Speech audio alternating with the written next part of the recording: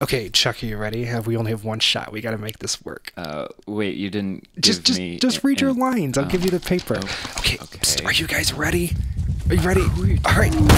Ah, oh, uh, um, Are you ready Where- to where- deconstruct where they- with friends? what the, what the hell? Where did, where did all this come from? Deconstructing your faith used to be lonely You got a band? And boring as hell. wait, wait. But no one must Wait. deconstruct their faith alone ever again when you deconstruct with friends. Chuck, tell them what we mean. Um, yeah, Go. that's that's right, Brady. Yeah. Uh, the life after has a. Uh, the hell, Brady?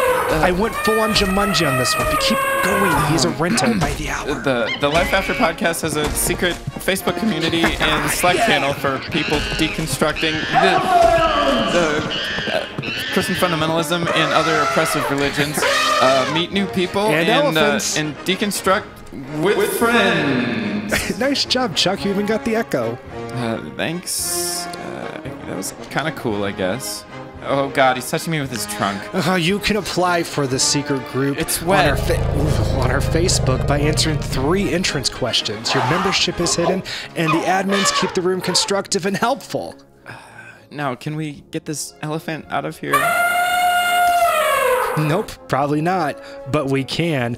Deconstruct with friends.